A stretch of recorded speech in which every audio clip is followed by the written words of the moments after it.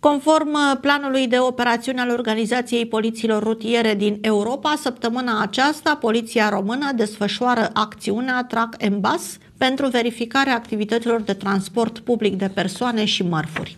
În perioada 13-19 mai, Direcția Rutieră din cadrul Inspectoratului General al Poliției Române coordonează la nivel național o acțiune pentru reducerea accidentelor rutiere produse în special din cauza nerespectării normelor rutiere de către conducătorii autovehiculelor destinate transportului public de persoane și transportului de marfă.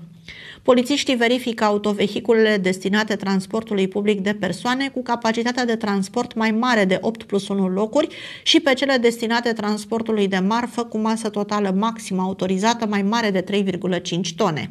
Activitățile de control se desfășoară simultan în toate statele membre ale Uniunii Europene, conform planului de operațiuni al Organizației Poliților Rutiere din Europa.